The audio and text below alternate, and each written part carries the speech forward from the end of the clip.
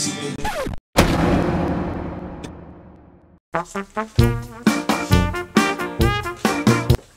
Teco, se você pudesse virar um animal, que animal você viraria?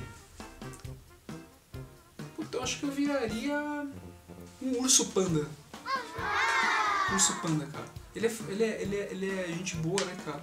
Ele é, ele é fofo. É padré, cara. Além, além do coelho, cara, que outro, que outro bicho é, pitoresco você comeria, cara? Eu comeria avestruz. Deve ser legal comer avestruz. Que é tipo uma galinha gigante, né? Cara, é um bicho comestível, que ele é uma ave. Ou seja, ave é gostoso de comer. Grande.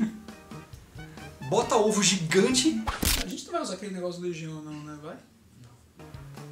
Então você era um pequeno teco, indo pra escolinha e tinha um moleque que tinha atazanado. Sim.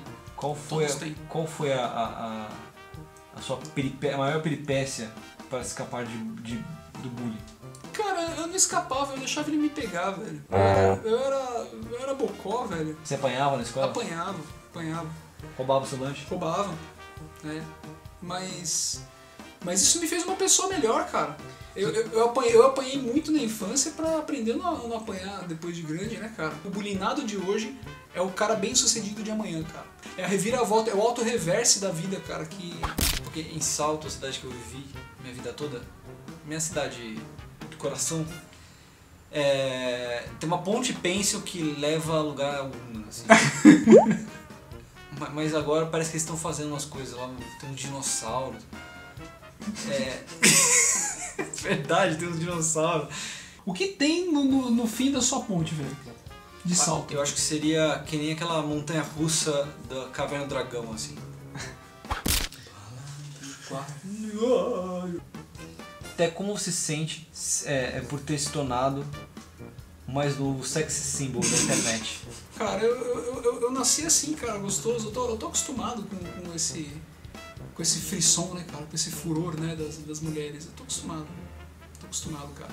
Então, essa minha magreza associada com a minha barriga saliente, né, cara, dá todo esse esse apio, né, cara? Esse apio de pessoa, assim, sensual, mas inteligente.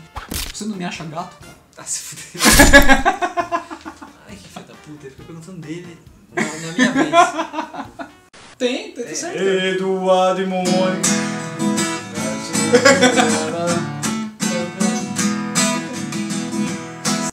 O, o, o que nós teríamos pra dar pros extraterrestres, já que eles deram um milho pra gente, cara?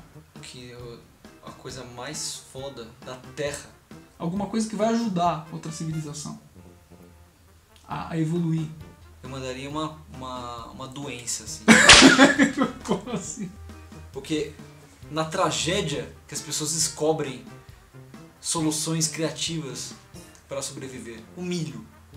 O milho só vira pipoca quando ele passa pelo fogo. Olha só que. Que, que ensinamento. que ensinamento.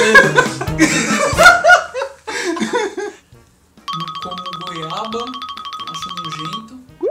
Não como mamão, não como abacate, também acho nojento.